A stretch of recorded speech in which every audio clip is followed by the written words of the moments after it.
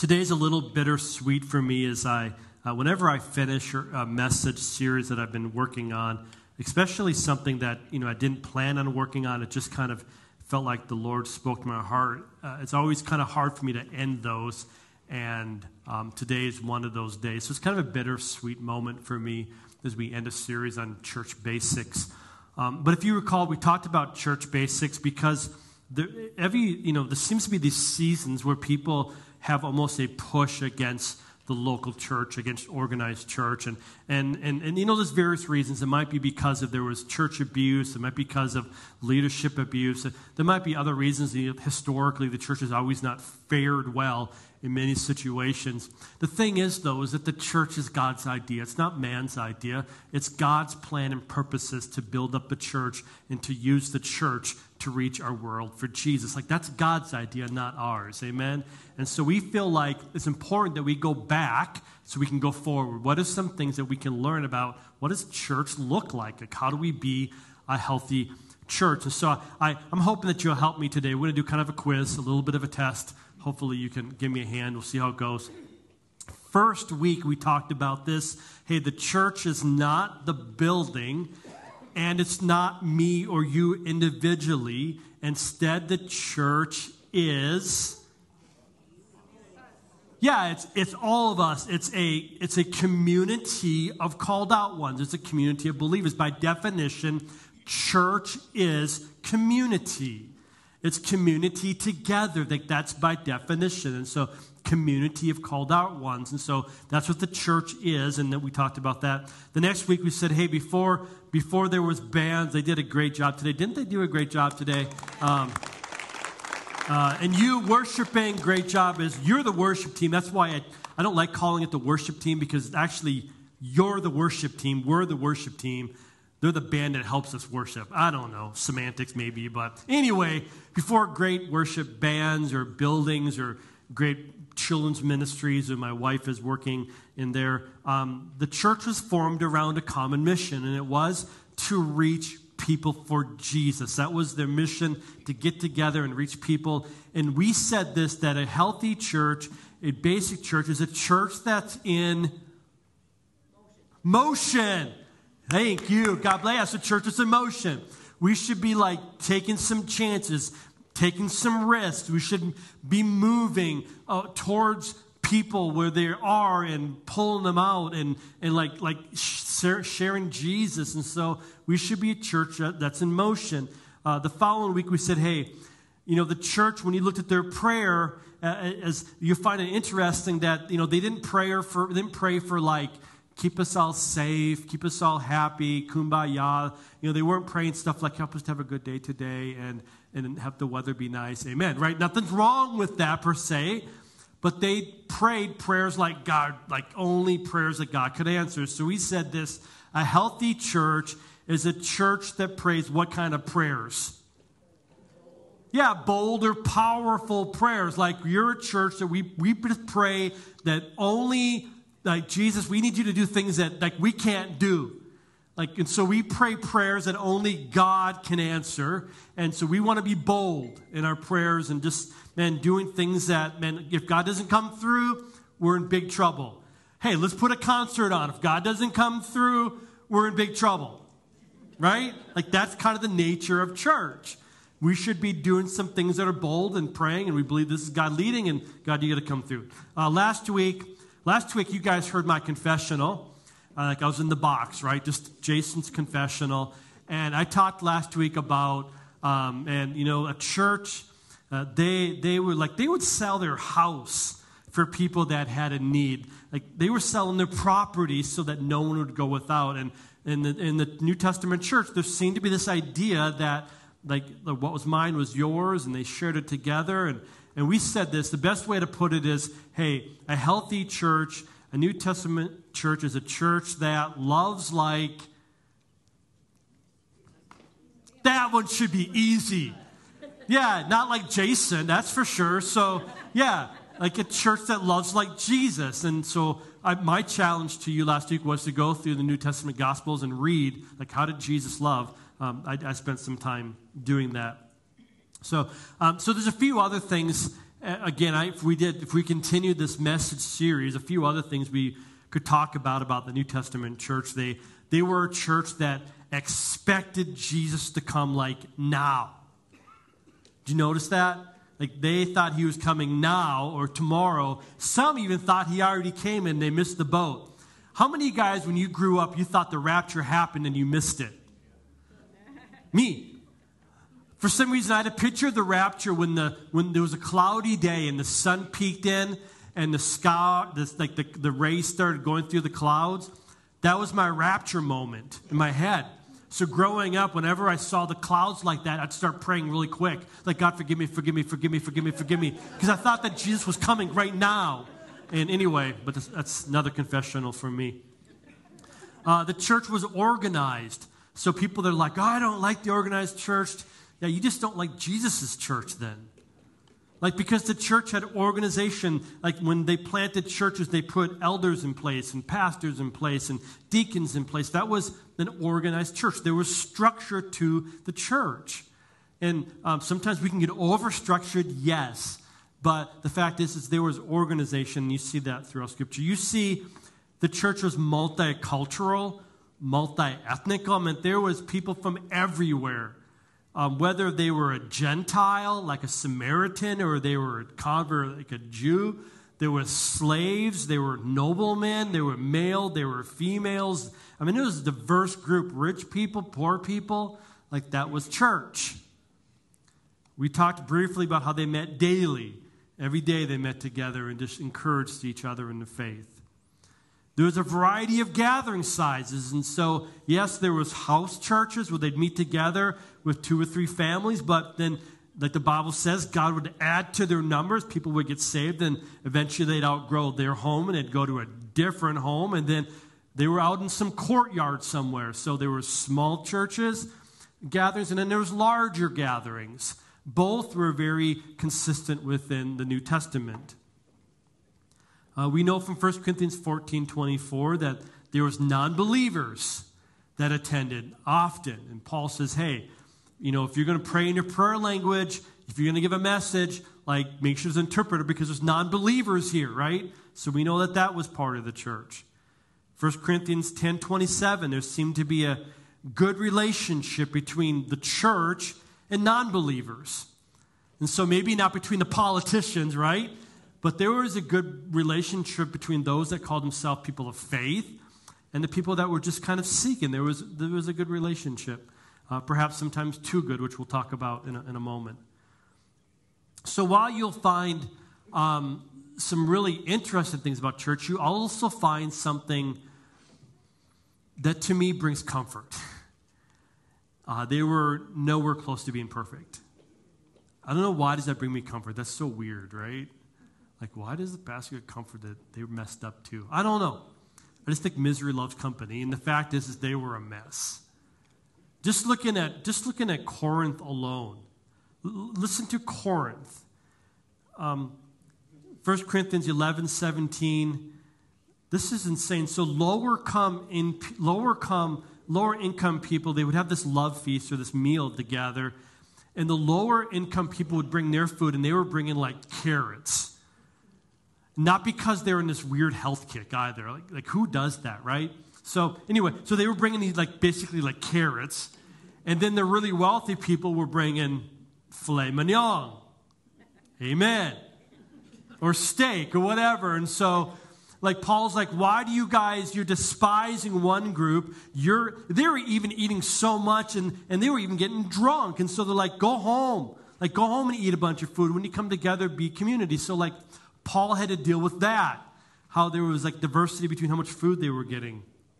1 Corinthians 1 through 4 talks about a lot of tension between the leaders of the churches in Corinth. And so some were like, hey, I'm going to follow Paul. People like, no, I'm with Apollos. No one's like, no, uh, Peter's my guy.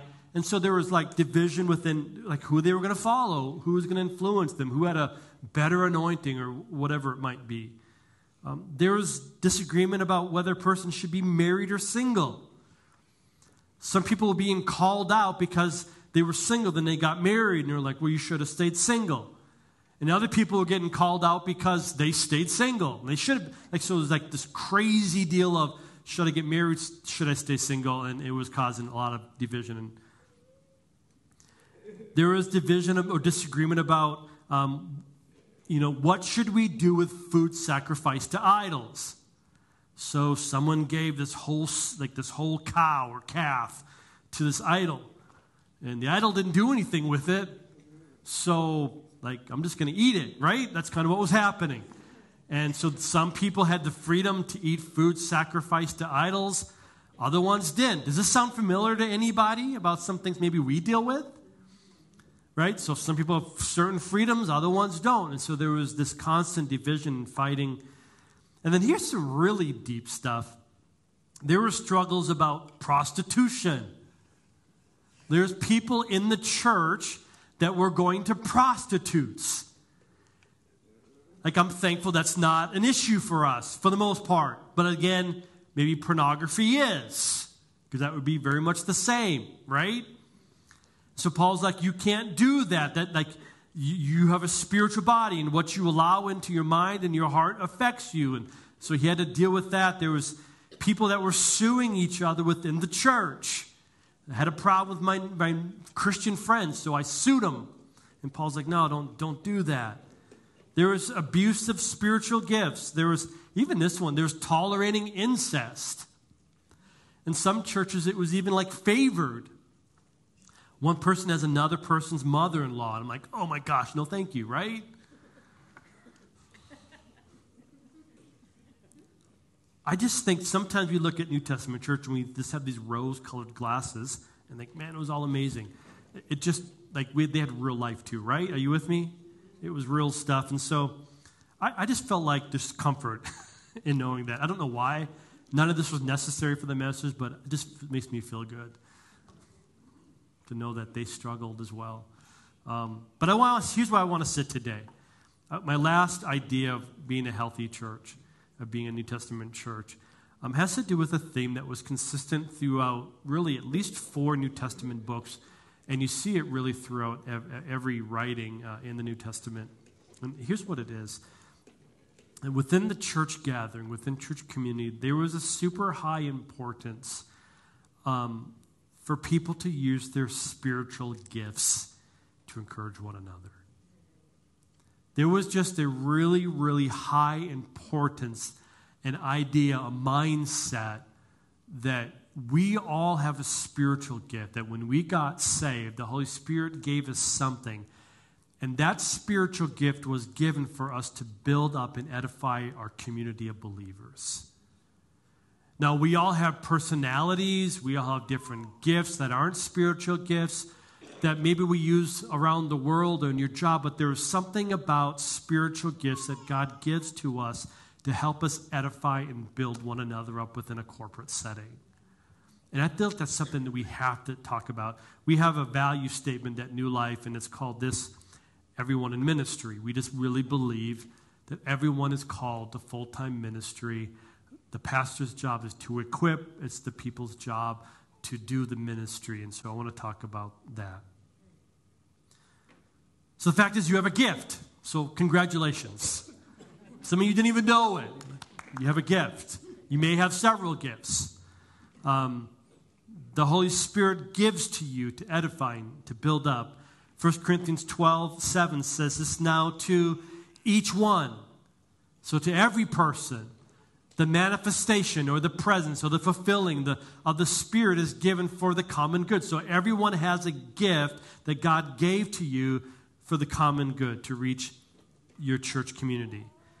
And ultimately, that, by the way, this is a great note day. There's going to be a lot of things I want to talk about. So if you haven't opened up your bulletin yet, take a moment if you would, and like, there's some notes that I would encourage you to write as we continue going through the message.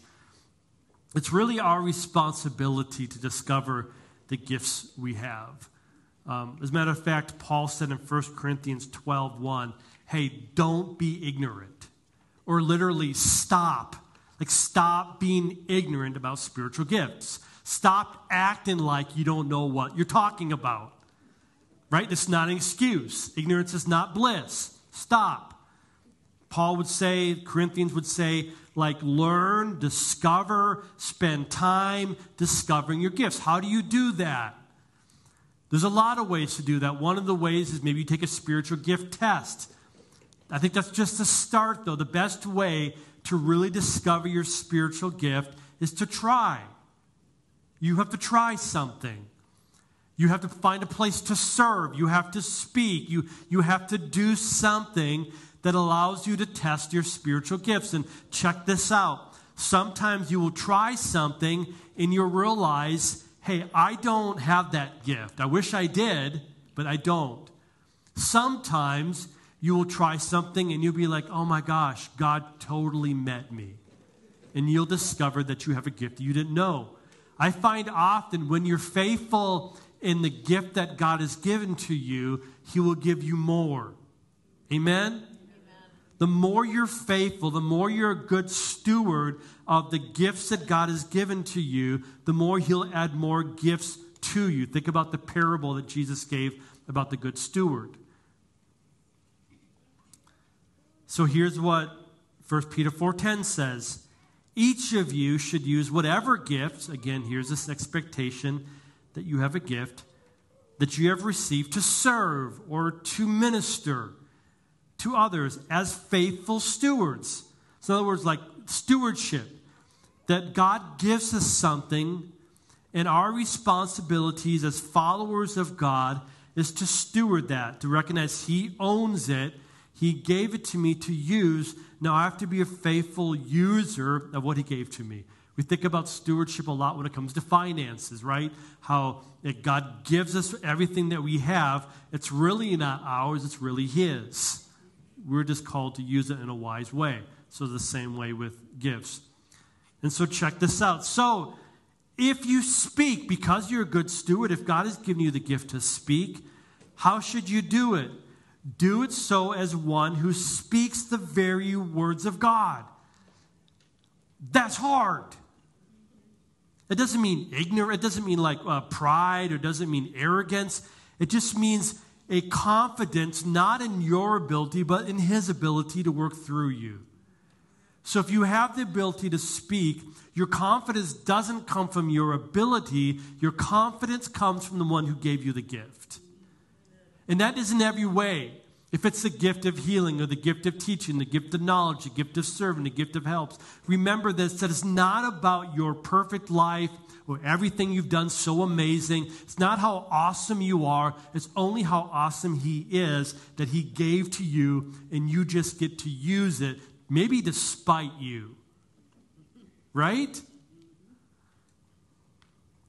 So if you speak, you should do as one who speaks the very words of God.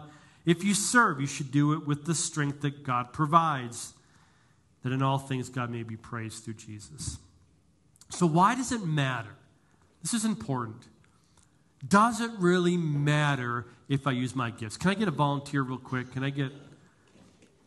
Can you come here for a second? Um, can, you, can you grab maybe the toilet, the, what's this called? That's not called toilet paper. That's awkward. Um, you see Kleenexes somewhere? How do you see? Oh, clean. I just need clean. Here we go. Pass. that was my fault. That was a bad catch. Did you just snort somebody over there? I see you could have laughed snort. All right, so check this out. If this is the body of Christ, the Bible calls us the body of believers. We're the body of Christ. We function together. Um, do this for me. Would you, would, you, would you run to me? Like, kind of like, like run, run, run, run, run. Yeah, that's good. So he did well. Give him a hand. Good, good job. Good job running. Yeah, yeah. So stay there if you would. So if you lose a leg, put a, put a leg up, would you? And now run to me. Yeah, yeah, there you go. Good, good. Can, so can he still function as a body? Hang here a moment turn around. Like, face me this way. There you go. Yeah, can he still function as a body with one leg? Yeah. yeah. Can, you know, he can still move and have motion and do things and, and, and he probably still catch. Oh, that's my, sorry. Here we go. Still catch? Yeah. So he can still do stuff. He can still catch. He can still move around. He's functional is he at his best? No. If he loses an arm, go ahead and put an arm back there. Can you catch? Yeah, pretty close. Yeah, yeah, yeah. Um, but now you can't. See? so if, stay there for a moment. So if he loses a leg and he loses an arm, is he still a body? Yes. Yeah. Can he still change people around him? Can he still affect people's lives? Yeah, yeah, he can still do things. Is he fully functional? No. No. Cover up your eyes. Oh, take your glasses off if you would. I'll, do you want me to take them for you? You don't have arms. Oh, you have one arm. Go cover up your eye. So he can't see. Still functional? Yeah, hey, catch this, would you? No, seriously, would you catch that?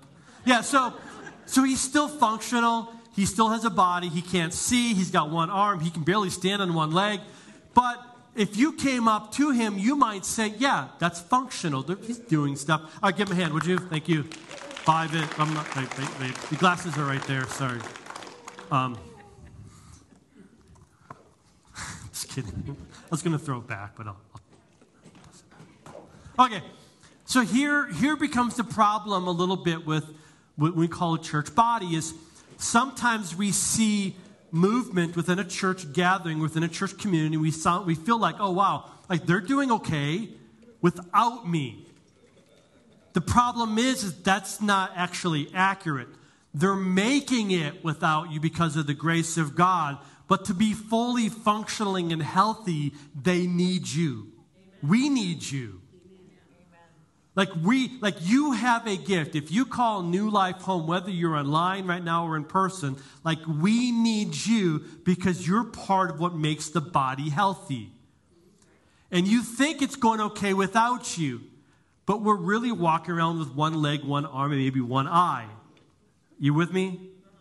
So I'm just encouraging you like you need to discover your spiritual gift. You need to discover what God has given to you because as a body of believers, we need you to effectively fulfill the mission that God has called us to.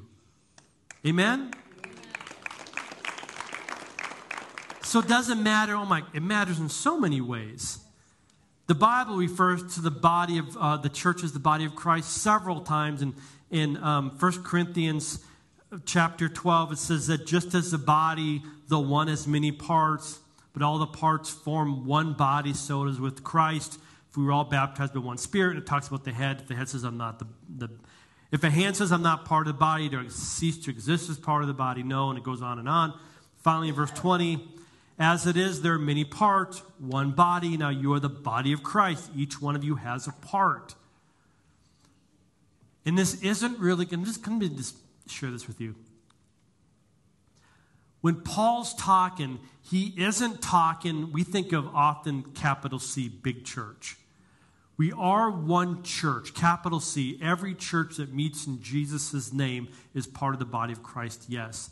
But if you're looking at the letters to Paul, he's talking to local churches and saying within the context of a local gathering of believers, God has placed parts to that gathering that help it to function in the way that God has designed it to be. So you have a role within New Life Church if you call this home. It's essential that you find your role, your place. So let me just go through a bunch of gifts, and this is where notes will come in handy, and I'm going to kind of go through quite a bit. 1 Corinthians chapter 12. Now, to each one, here's this phrase again the manifestation of the Spirit is given for the common good to one is given through the Spirit a message of wisdom, to another message of knowledge by the means of the same Spirit, to another faith by the same Spirit, to another gifts of healing, to another miraculous powers, uh, to another prophecy, to another distinguishing between spirits, to another speaking in different kinds of tongues, still to another interpretation of tongues. All of these are the work of one and the same Spirit, distributing them to each one as He determines. So, not based upon how great or amazing you are but how great or amazing He is. Let's just go through a few of those gifts. So, again, how do I discover my gifts? So, you, you put it into practice. Um, in your bulletin, there's actually a place that you can take a test, spiritual gift test. Um, you can also go to newlife906.com, which is our website. In the left box, you can scroll down. It's a spiritual gift test. You can take it there. It's probably the easiest place to take it. And then you can go back there and find out what you know what it says about you. You can discover the gifts. You can learn more about them. Um, so I would, there's a place, there's a table after the service to look at. Uh, I would encourage you find a place, like try something new. Church Center app has a list of almost every place to serve. And so you go under groups, and it'll have life groups, and it'll have like service groups and next step groups. Look under service groups. There's a lot of places to serve, but find a place that you can call your place to learn. And maybe it works, maybe it doesn't. But so let me go through some of these. Wisdom. If you have the gift of supernatural wisdom, it just seems like you have this knack for knowing how to respond in different situations. Does anybody know people like that? Like they just always seem to know how to respond. They need they just know how to deal with the situation or a conflict. They just have wisdom. Um, but if you have that, um, like you make a great advisor. You make great advisors. You, um, unfortunately, there's no ministry called the advisor ministry. So you got to find your place. So if you have a gift of wisdom, let me just almost any group needs you. It might be a missions group, it might be a youth group, it might be a children's group, it might be a board for the church, it might be a community center group.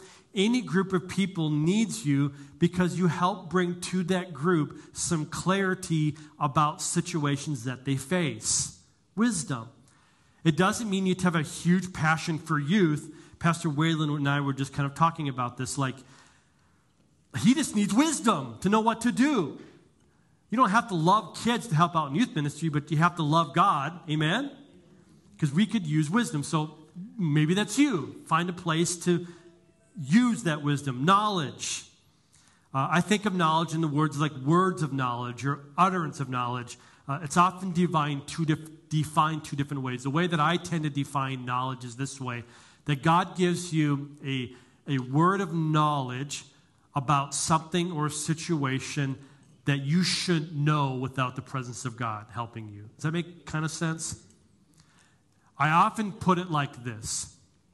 Um, when we give a prophetic moment, I'm praying, and it happens sometimes when I think uh, um, Mallory kind of did it, and she said, I feel like there's some people here that is dealing with fear. That's a word of knowledge. And the more you use the gift about knowledge, the more that God will give you more intimate details about knowledge. So you, you use it once, might be really broad. I believe that God is somebody that's having fear, but the more you practice it, the more that God will increase that knowledge even to detail. But like we need to know that God is here. And so I love it when someone says, hey, uh, man, I just, I believe that, um, I don't know, I'm just seeing like a I've had this before, someone praying and like, I'm just seeing like a boat. I, I, like, I just, I don't know why. And you just ask, hey, like, does a boat mean anything to you? No? Okay. Yeah, maybe, because I've been thinking about buying a boat and I don't know, didn't know what to do. Like, does that make sense, kind of? So, words of knowledge, it's a supernatural gift, so it's not something that you have. Uh, but people need to know. People need to hear that God is like intimately involved with our lives, and that's a great gift to use. The other type of definition of knowledge is your ability to really just know Scripture and to quote the Scripture in certain situations. And so uh, it might be just you, like something happens and you've got a verse just comes to mind and you can quote. Some people will define supernatural knowledge that way. Um, either way, uh, a spiritual gift of, of knowledge. Healing. Often I feel like the gift of healing works with compassion. It's really hard to be praying for someone to be healed if you're not first empathizing and sympathizing and moved by the infirmities that they're dealing with. Jesus always moved with compassion when he healed, always. Even any miracle, there's compassion that happened. I really have said this several times. I, I believe within our church gathering, there are people here that you have a gift of healing. In other words, like God wants to use you to see people healed the problem is, is you're so fearful of missing the mark that you're afraid to pray for somebody. Maybe you need to pray for boldness, but like you'll never know it if you don't do it, right?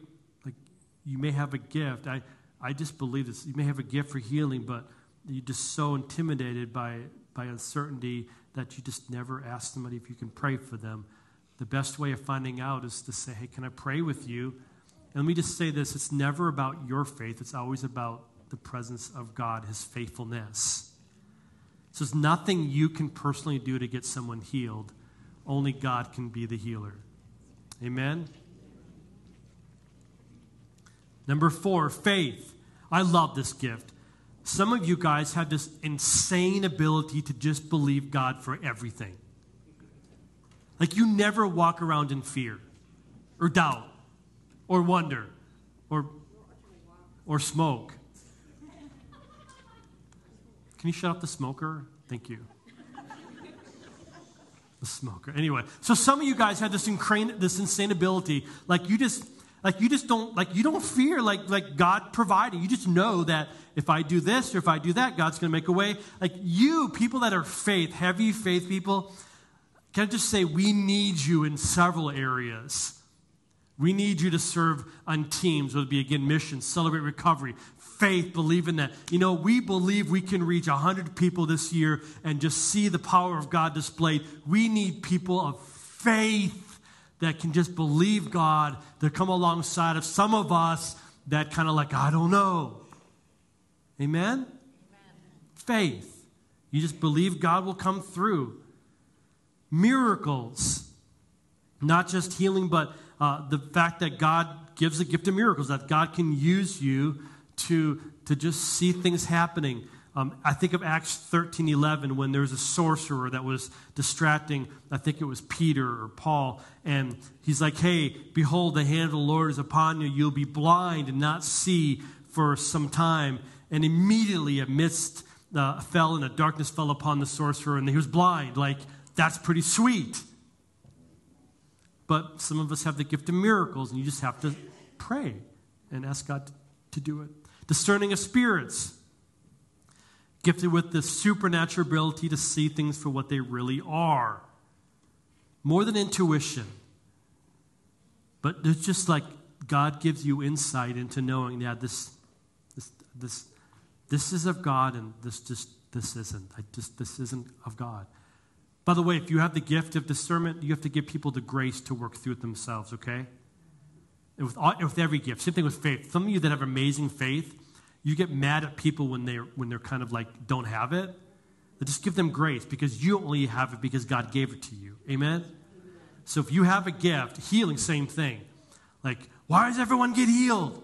Why don't you have faith? You know, when I pray for them, they get healed. Like, you God gave you a gift. Anyway, um, so like discerning of spirits, this is the ability to to recognize things are happening in a spiritual world. We talked before about uh, how there are principalities and powers and things that we can't see.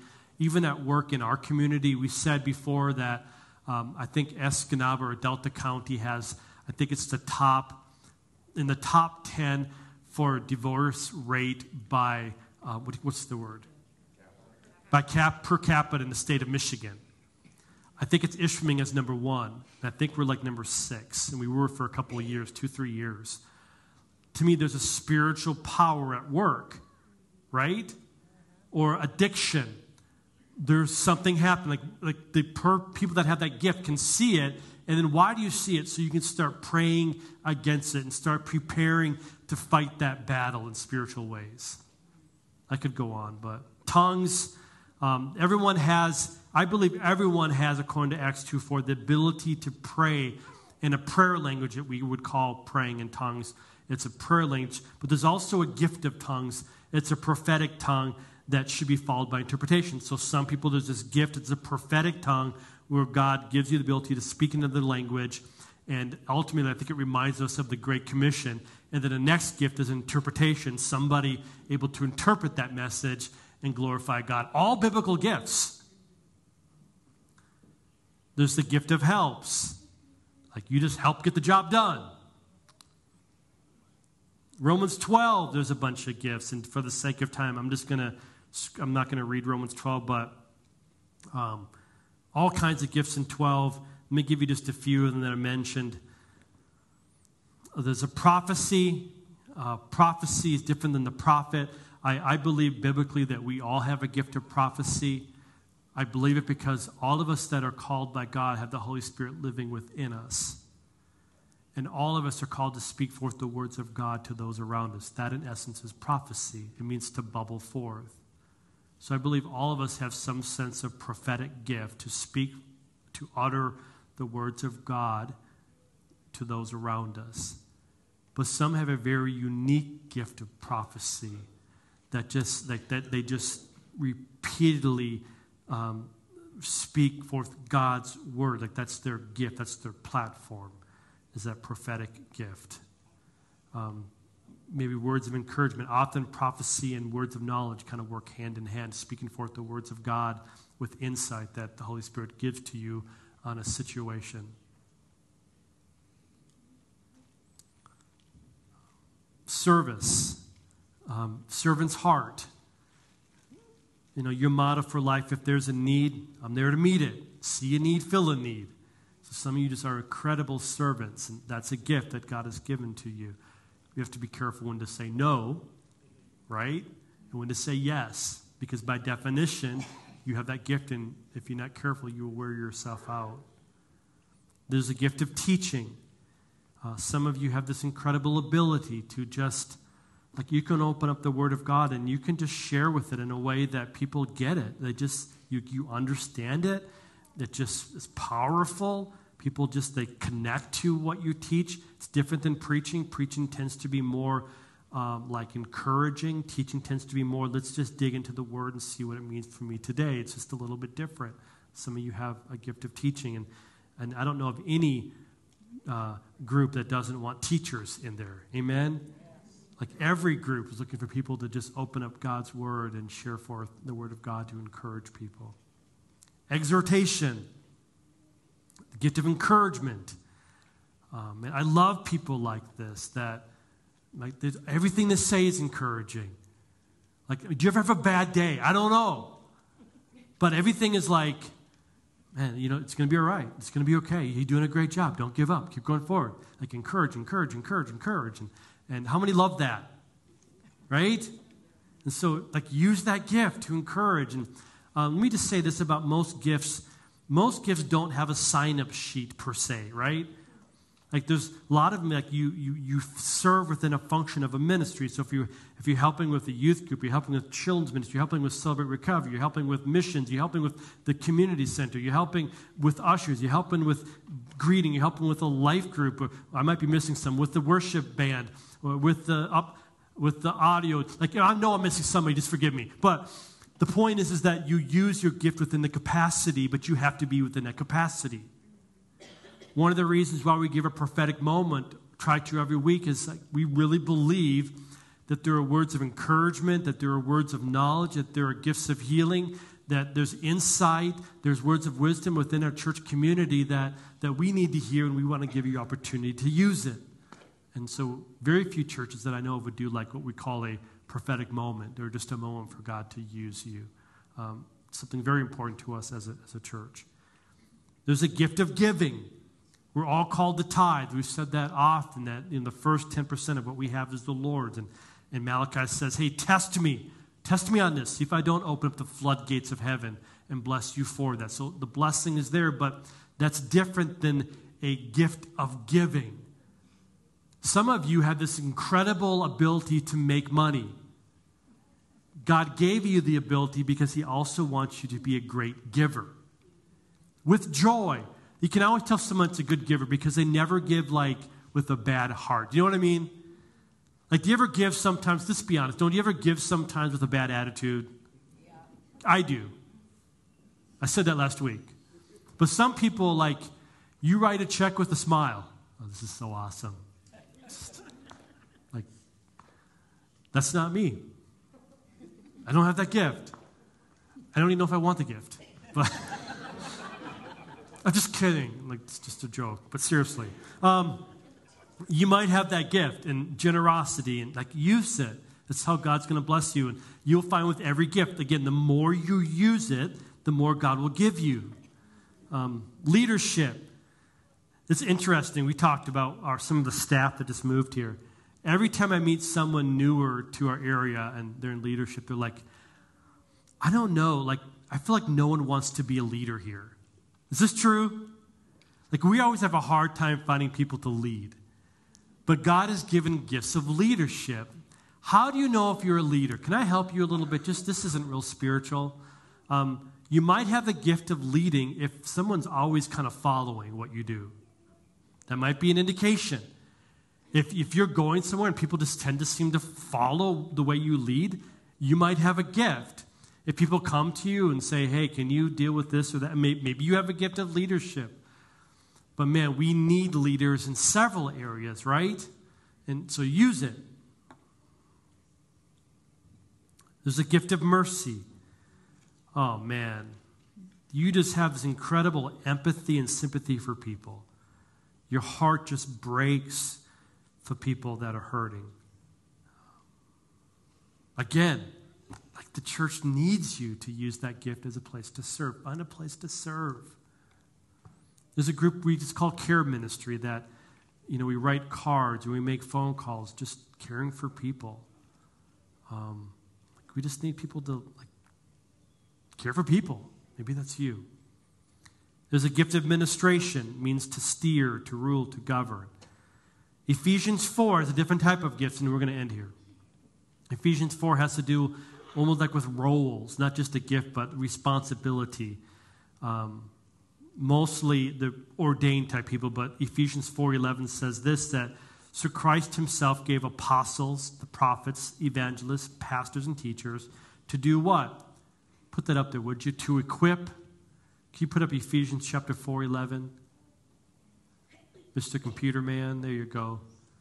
Ephesians 4:11 to do what? To equip his people for works of service. So my primary job as we talked about at the beginning isn't to do everything. My job is to help you to do what God has called you to do and help you to use the gifts that God has given to you. So pastors are called to do that, not to do it all, but to help you to do it all. Amen? Amen. Apostles are given not like New Testament apostles where they have the final authority, but there's an apostleship.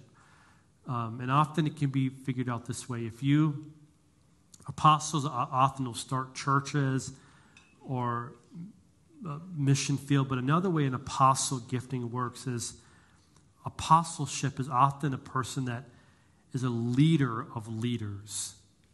There's an apostle gifting where you just begin to take on, I'm not just leading people, but I'm leading leaders that are leading people. You may have that gift of apostleship. And then you need to let me know because I have some stuff I want to work with you on. Prophets, evangelists, teachers.